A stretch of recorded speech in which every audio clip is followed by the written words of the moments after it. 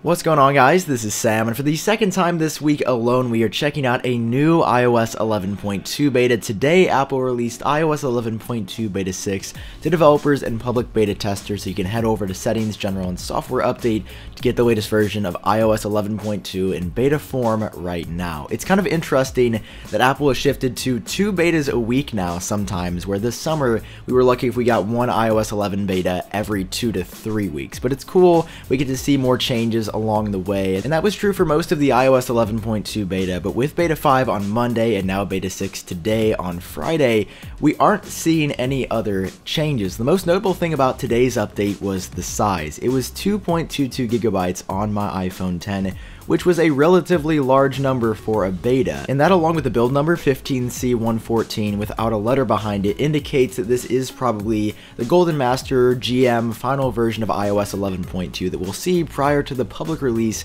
It's sometime, I would assume within the next two or three weeks. Looking at past release dates for iOS 9.2 and iOS 10.2, 9.2 was released on December 8th, and 10.2 was released on December 12th of 2015 and 2016 respectively. So probably within the next two weeks at the very latest. Usually Apple will skip a week after they release the GM update, so I would definitely say somewhere around December 10th through 14th sounds like a good time frame, but nothing has been confirmed for sure. Apple always is pretty sketchy with these release dates. All of a sudden it just pops up on millions of iOS devices around the world. Very rarely do we actually get a tip or heads up like, hey, this big update is coming, look forward to it then. It just kind of happens. So I've been looking through iOS 11.2 beta 6 to see if I could find any new changes or features, and I have not been able to. But over the past week, not specifically tied to iOS 11.2 Beta 6, inside of the TV app in iOS 11.2, there's a new sports section. If you're a big sports person, you'll probably love this section of the TV app now because it does a pretty good job of showing you all of the big games that are coming up at the very top. You can scroll.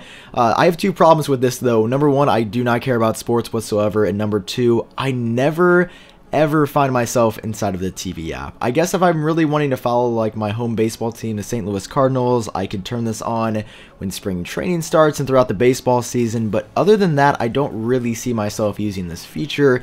I want to hear your thoughts on the TV app down below in the comments section. The TV app was actually initially released in iOS 10.2 last year, and I feel like I've just stopped using it since the beta cycle a year ago. But once again, I want to hear your thoughts. Let me know what you think about the TV app down below in the comments section. Overall, though, I'm really excited for iOS 11.2 to release for everyone. It's a really good update. You get a ton of new features and changes, new wallpapers for the iPhone 10. You get iPhone 8 marketing wallpapers for, I think, the iPhone 7 and a couple of other devices. Apple Pay Cash is finally here. There's been some other tweaks around the operating system, and performance and battery life have been absolutely off the charts for me throughout iOS 11.2.